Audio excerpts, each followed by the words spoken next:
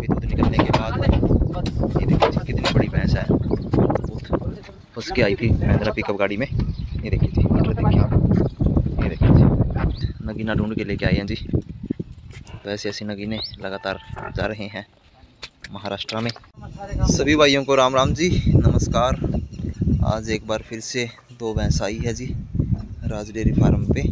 बड़ी भैंस है। बहुत बड़ी भैंस एक दूसरे ब्यांत की जोटी है। और एक तीसरे ब्यांत की भैंस जी दोनों में पंद्रह पंद्रह लीटर दूध दो टाइम निकाल के फिर लेके आए हैं जी। ये जा रही है सांगोला महाराष्ट्र में और महाराष्ट्र से अहमदपुर से भाई साहब भी आए हुए हैं अपने पास में जिनकी खरीदी चल रही है और एक लोड पूना महाराष्ट्र की खरीदी भी चल रही है और मध्य प्रदेश भोपाल की लगभग तीस भैंसों की जो खरीदी है वो अभी चल रही है। और अभी दो शानदार जो भैंस है वो हम अभी लेके आए हैं जी। राज डेयरी फार्म पे। तो बहुत भारी भरकम भैंस है दोनों की दोनों। एक देखिए जी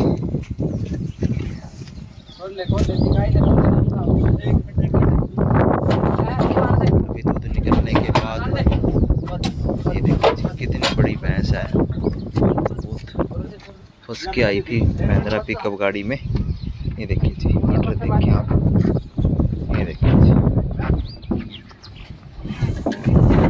साथ में फीमेल का कटड़ी।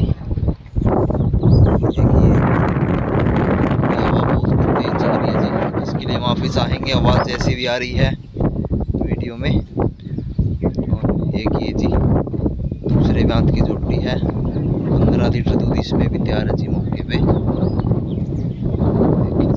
राज डेयरी फार्म पे कभी भी आए जी। महाराष्ट्र, कर्नाटक, हैदराबाद, पंजाब, यूपी, राजस्थान, कहीं के भी भाई हो जी। सब भाइयों का स्वागत है और पूरा एड्रेस आप देख पा रहे हैं गाँव मिंगनी खेड़ा ज़िला हिसार, हरियाणा में है। देखिए, हमारे यहाँ पर मूरा नस्ल की भैंस व साहिवाल नस्ल की गायें खरीदी व बेची जाती है। कॉन्टैक्ट नंबर पचानवे एक सौ छियासी, पिचहत्तर नौ सौ नौ, ये मेरा नंबर है। दूसरे वाला भाई का नंबर है जी। सत्तर, दो सौ सत्तर, पिचहत्तर पिचहत्तर, पाँच। और ये जोटी को भी अभी उतार रहे हैं गाड़ी से। और तो बहुत बढ़िया काम चल रहा है जी। अच्छे अच्छे एनिमल एक रीजनेबल रेट में जो हम किसान भाइयों को दे रहे हैं। सामने आप देख पा रहे हैं, बहुत बड़ी भैंस। पंद्रह लीटर दूध दो टाइम निकाला, जो सांगोला से भाई साहब आए थे अपने पास में। सांगोला में लगभग चौथी गाड़ी उनके पास में जा रही है और एक ये और जोटी ये आ गई जी बिल्कुल कच्ची कली कचनार ये देखिए जी। बहुत नगीना ढूंढ के लेके आए हैं जी। तो ऐसे ऐसे नगीने लगातार जा रहे हैं महाराष्ट्र में। और ये भाई साहब सामने आप देख पा रहे हैं अहमदपुर। महाराष्ट्र से। अपनी कौन सी जगह है? अहमदपुर है ना? ये भाई साहब अहमदपुर, महाराष्ट्र से आए हुए अपने पास। तो अच्छी अच्छी भैंस लेने के लिए आप कभी भी आ सकते हैं जी। इनका लोड जिस टाइम पे पूरा हो जाएगा, पूरी वीडियो बहुत ही जल्द लेके आएँगे। आपकी बात भी करवाएँगे। देखिए जी।